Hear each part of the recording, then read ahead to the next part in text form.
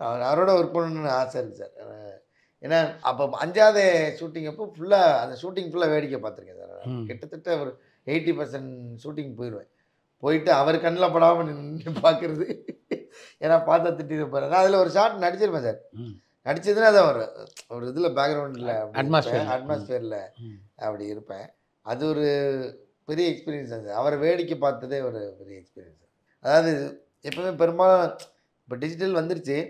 இருந்தாலும் நம்ம ஃபிலிம் இருக்கும்போது கூட ப்ளேபேக் பண்ணி பார்க்கலாம். அந்த மானிட்டரை ஆமாம் இந்த இந்த பேக்கப் ஆகும்போது ஒரு ஷாட் எடுப்பாங்களா சார் லாஸ்ட் ஷாட்டு அந்த லாஸ்ட் ஷாட்டு கட் பேக்கப் அப்படிம்பாரு சார் கட்டு சொல்லிட்டு கேப்போட பேக்கப் சொல்லுவார். அவ்வளோ கான்ஃபிடென்ட்டாக ஓகே பண்ணுவார் அவர்.